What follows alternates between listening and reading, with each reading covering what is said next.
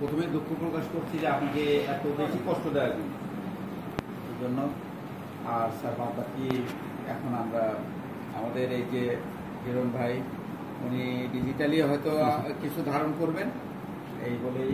আর আমি আমার যিনি আপনার বামে বসা ওনার পরিচয়টা উনি দিবেন। অত্যন্ত ঐতিহাসিক ব্যক্তিত্ব।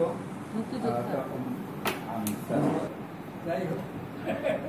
সেই সময় থেকে আজ পর্যন্ত সরকারি মানুষের সামনে আসি উনিশশো আটচল্লিশ সনে আমি আনসারে ভর্তি হয়েছিলাম সেখান থেকে আমি আনসারে তারপরে আমি ট্রেনিং করার পরে চাকরি তখন সিনিয়র ইন্সপেক্টর হয়ে গেলাম এরপরে দেশ স্বাধীনের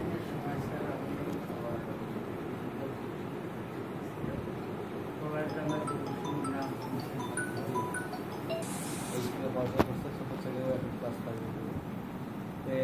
বলার পরে আমি আসলে না করি দেখেন করোনাকালীন সময়ে আমাদের এখন পর্যন্ত অফিসিয়ালি বিশ্ববিদ্যালয়ে কিন্তু আমরা ওপেন ডিক্লেয়ার করি আমাদের ব্লেন্ডেড পদ্ধতিতে পড়াশোনা চলে কারণ কিছু অনলাইন অফলাইন পরীক্ষাগুলো অফলাইন হচ্ছে অনলাইনে প্র্যাকটিক্যাল ক্লাসগুলো হয় আবার থিওরি ক্লাসগুলো অফলাইন অনলাইন তো যার কারণে আমাদের এখন অফিসিয়ালি কিন্তু ডিক্লেয়ার আর এই অফিসেও ধরেন কোনোদিন আমি একবার আসি দুইবার আসি আসতে পারি আমি আসতেই পারি। এত ওই যে প্রেশার পড়ছে আজকেও ওই যে সেই বাইরে কিন্তু আমি শিক্ষণ না হয়ে সব আসে তাৎক্ষণিকভাবে আমার আসলে মাথায় অতটা ইয়ে ছিলাম। আপনাদের লাঞ্চের টাইমটা চলে যাচ্ছে চারটা মিনিট আমি আর বেশি সময় নিব না। আপনারা আসছিলেন আমাদের মনে হয় ছেলে মেয়েরা তাই ঘুরে দেখছে যে কিছুটা হলেও তাদের আউটলুক চেঞ্জ হবে। আমি যেটা বলতে চাই যে শিক্ষক মণ্ডলী তোমাদেরকে কষ্ট করে নিয়ে আসছে তোমরা লেখাপড়া করো ভালো করে।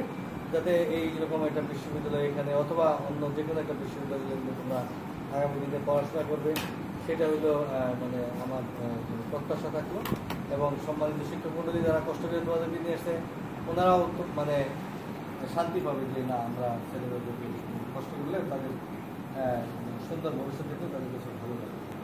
এই সেটুকু আশা ব্যক্ত করছি। আর বিশ্ববিদ্যালয় সম্পর্কে যদি বলতে চাই আমাদের এই ইউনিভার্সিটিটা উনিশশো একষট্টি সালে প্রতিষ্ঠিত হয়েছে, আঠারোই আগস্ট। সেইখান থেকে যাত্রা আমাদের বিশ্ববিদ্যালয়টা যখন শুরু হয়েছিল, তখন এই বিশ্ববিদ্যালয়ের শিক্ষক ছিলেন বেশিরভাগ আমেরিকা থেকে আসা আমেরিকার Texas A and M university যেটা সেই বিশ্ববিদ্যালয়ের শিক্ষকরা এখানে এসে এই বিশ্ববিদ্যালয়টা শুরু করে দিয়েছে। এবং আমাদের আজকে যেখানে লেডিস হলগুলো দেখছেন এই পুরো এরিয়াটা ছিল আমাদের। আমেরিকান কলেজ আমেরিকান শিক্ষকরা এখানে থাকতো অনেক বড় বড় পালন ছিল আমরাও দেখেছি এখন কিন্তু যেটা নাম আছে ভেঙে গেছে মেয়েদের যাই হোক সেখান থেকে আহ, আর বিশ্ববিদ্যালয়ের অবদানের কথা যদি আমি বলি বিশ্ববিদ্যালয় প্রতিষ্ঠা লগ্ন থেকেই চেষ্টা করছে গ্র্যাজুয়েট প্রডিউস করছে। সেখানে আপনারা সকলেই হয়তো এটা স্বীকার করবেন যে সাড়ে সাত কোটি মানুষ ছিল যে সময় খাবারের ঘাটতি ছিল। আর এখন প্রায় সতেরো আঠারো কোটি লোক। এখন কিন্তু আমাদের খাদ্য ঘাটতি তো নেই। বিশেষ করে সিরিয়াল ফুড বা এই জাতীয় দানাদার খাবার সেগুলি তো নাই। বছর করে আমরা কিন্তু বিদেশি কিছু রপ্তানি সেই সেটা প্লাস ধরেন এখন আমরা কিন্তু মাছ উৎপাদনেও বাংলাদেশ সারা বিশ্বে চতুর্থ। হয়েছে। ফল উৎপাদনে আম উৎপাদনে পঞ্চম হয়েছে। তারপরে এরকম যদি আমি বলি এক এক করে অনেকগুলো সাফল্য বাংলাদেশ কৃষি বিশ্ববিদ্যালয় আছে। আর বিশ্ববিদ্যালয়ে অবকাঠামো যা ছিল সেগুলিও উত্তর উত্তর বৃদ্ধি পাচ্ছে। আগামী চার পাঁচ বছরের মধ্যে বিশ্ববিদ্যালয়ে আরও বড় ধরনের একটা পরিবর্তন আসবে।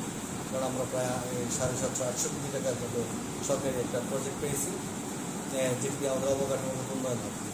আর এশিয়ান ডেভেলপমেন্ট ব্যাংকেরও একটা মানে ফান্ড আমরা পাচ্ছি, সেটাও প্রায় ষোলোশো কোটি টাকার মতো, যেটা দিয়ে একটা ল্যাবরেটরি হবে আমাদের। যেটা সাউথ এশিয়ান কান্ট্রি যতগুলো আছে, তার মধ্যে সবচাইতে বড় একটা ল্যাবরেটরি হবে, যেটা রেফারেন্স ল্যাবরেটরি শুধু বাংলাদেশ বাংলাদেশ, ইন্ডিয়া, পাকিস্তান, নেপাল শ্রীলঙ্কা, ইন্দোনেশিয়া মানে এই অঞ্চলে যত দেশ আছে, সবাই সেই ল্যাবরেটরিকে রেফারেন্স ল্যাবরেটরি হিসেবে ব্যবহার করে। সেইটি বাংলাদেশ কৃষি বিশ্ববিদ্যালয় হচ্ছে। এডিবি ফান্ড এবং বাংলাদেশ সরকার সেটা সিদ্ধান্ত দিয়েছে যে এটা গবেষণার কথা বিবেচনা করে সেটা বাংলাদেশ কৃষি বিশ্ববিদ্যালয়। কারণ আমাদের কিন্তু একটা সুনাম রয়েছে যেটা ইউজিসির সাবেক chairman professor Abdul Mannan sir এনটিভির একটা সাক্ষাৎকারে বলেছিলেন যে যদি রিসার্চ দেখতে হয়, গবেষণা দেখতে হয়, তাহলে অবশ্যই আপনার বাংলাদেশ গবেষণার সুবিধা আর আমাদের মাঠ পর্যায়েও কিছু কিছু জিনিস আপনাদের হাতে করে খুবই আজকে যে এই উন্নত যে যত ধরনের জাত, সেগুলো কিন্তু সবই আমাদের গ্রাজুয়েটাই এর পিছনে আর আমাদের বিশ্ববিদ্যালয়ের অনেকগুলোই আছে। জাফরান সেন্টার তো আপনাদের দেখা শুধু এখানে অনেক বড় একটা জাফরান সেন্টার আছে। ওখানে থেকে ঘাটাতে গেছিলাম যাব স্যার। গার্ডেন বোটানিক্যালে যাব এদিকে আচ্ছা। আর এই যে বাউকুল যেটা আপনারা তো শুনেছেন বড় বড় কুল যেটা পাওয়া যায় কিন্তু আমাদেরই এখানকার। তারপরে এই পেয়ারা পেয়ারা আমাদের আছে। তারপরে মালটা আপনি যে কুষ্টিয়ার দিকে যদি যান বা এখানে ফুলবাড়িয়ার দিকে যদি যান আমাদের আমাদের বিশ্ববিদ্যালয়ের নিজস্ব জাত আছে মাল সম্প্রতি অনেকগুলো জাত আছে। আমাদের এটা কৃষি- সেকেন্ডারি ছিল এটা। হ্যাঁ আমাদের- আমাদের সর্বোপরি যে কথাটা বলতে চাই ওয়ার্ল্ডের মধ্যে সারা ওয়ার্ল্ডের মধ্যে তিরিশ হাজার বিশ্ববিদ্যালয় কম্পিটিশন করেছে তার মধ্যে বাংলাদেশ কৃষি বিশ্ববিদ্যালয় এক হাজার একটা আমাদের বিশ্ববিদ্যালয়। সারা সারা ওয়ার্ল্ডে। পৃথিবীর মধ্যে।